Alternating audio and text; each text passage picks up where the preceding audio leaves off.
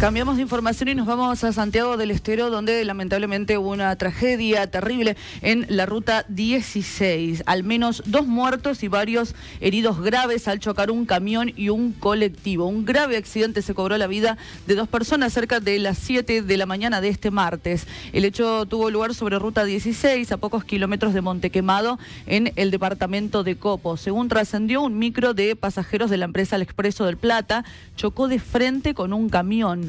Por el hecho, los conductores de ambos rodados fallecieron en el acto. El colectivo llevaba personas desde Tacopozo hacia Roque Sáenz Peña, mientras que el camión transportaba una carga de arena. Tras el fuerte impacto, el camión quedó tendido sobre uno de sus laterales, bloqueando parcialmente ese tramo de la ruta 16. Reiteramos entonces un tremendo accidente en ruta 16, al menos dos muertos y varios heridos graves al chocar un camión y un colectivo.